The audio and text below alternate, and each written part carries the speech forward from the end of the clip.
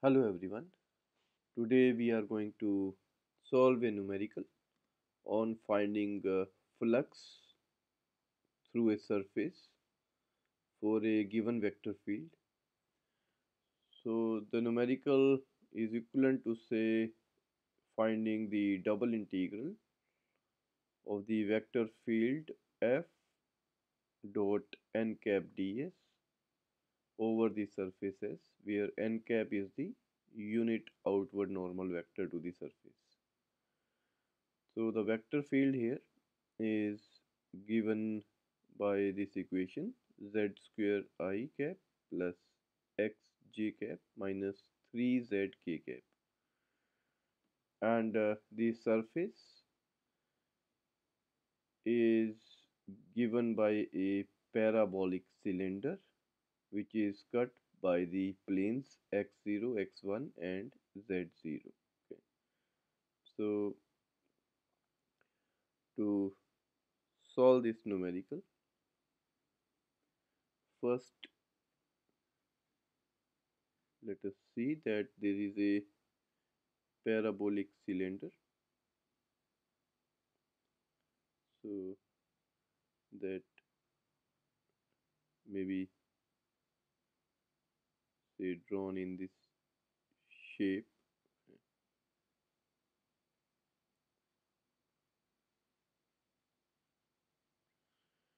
So with the x-axis being in this direction and this parabola as z is equal to 4 minus y square so downward concave down parabola and this parabola is extended for towards the x-axis okay? And this is then cut by the planes x0 and x1 so uh, this cylinder is cut by x0 and x1 and and uh, then the z0 that means the ground. So there is this is not extended further okay? So maybe uh, we can assume that this parabola uh, is uh, just lying above the ground okay. so for this it is said that the unit outward normal is away from the x-axis. So if x-axis is here then away from the x-axis means in the upward direction we have a unit normal n cap. So first we let us calculate that unit normal. So for that first see that we need to find the unit normal on the parabolic cylinder. And the parabolic cylinder may be written as a function h which is z plus y square minus 4 is equal to 0 is the surface say and so the unit normal to this surface is calculated as gradient h because gradient h is normal to the surface h and to find unit normal any vector divided by its length will give us a unit vector.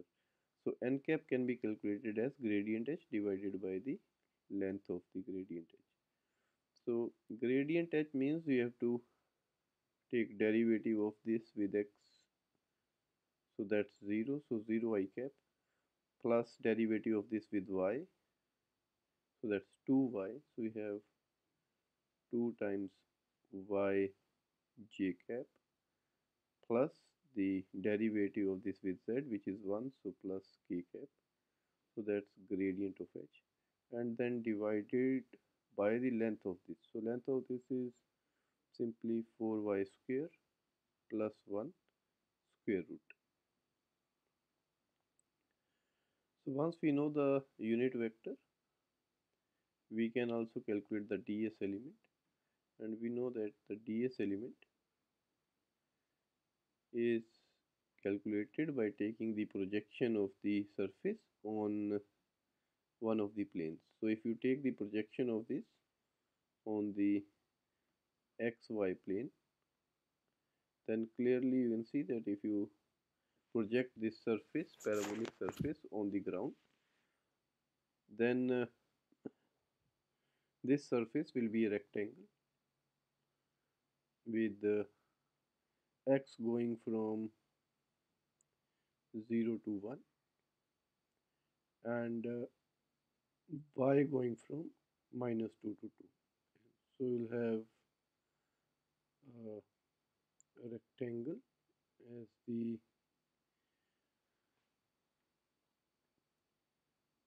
projection with x going from 0 to 1 and y going from minus 2 to 2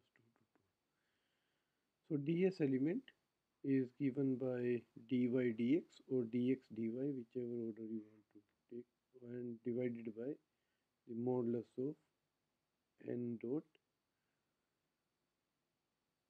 k cap. So n cap is already there. So if we take the dot product with k cap then j dot k will be 0 and k dot k will be 1 so it will give us square root of 4y square plus 1 dy dx.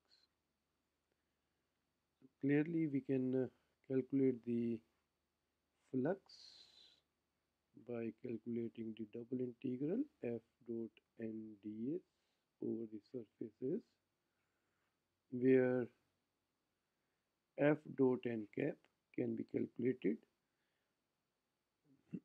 by using the dot product of f vector which is already defined and taking its dot product with the n cap. So if we take the dot product of these two then i dot i should be 1 but there is no i so 0 and i dot with j and k are already 0.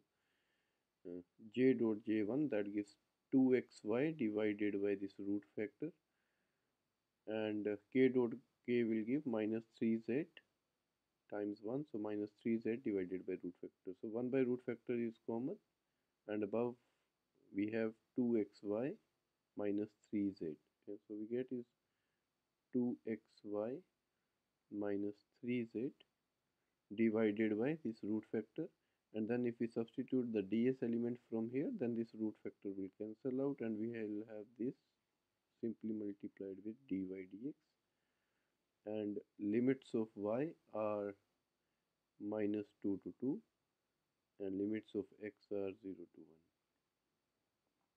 So we need to solve this double integral where z we need to substitute from the surface. So z is 4 minus y square. So we can rewrite this double integral as 0 to 1 integral minus 2 to 2 2xy minus 3 times 4 minus y square. So minus 3 times 4 minus y square dy dx which can be written as a double integral 0 to 1 minus 2 to 2 uh,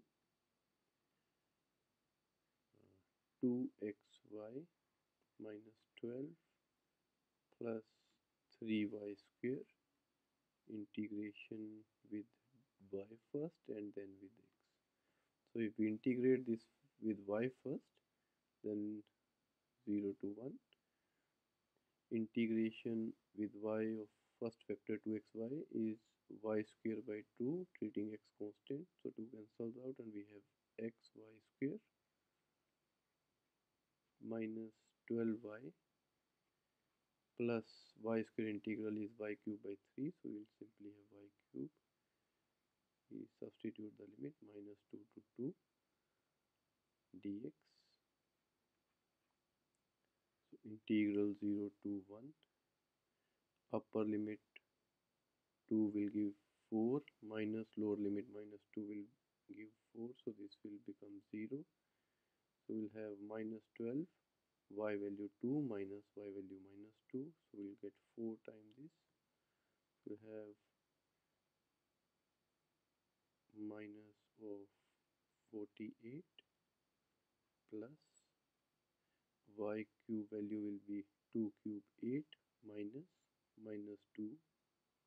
which is minus 8 so it becomes plus 16 dx. And so we have is minus 32 integral 0 to 1 dx. And this value is integral is x substituting upper lower limit will give 1 so we'll have is minus of 32 as the amount of flux. So this way we can solve the numerical for finding flux using double integral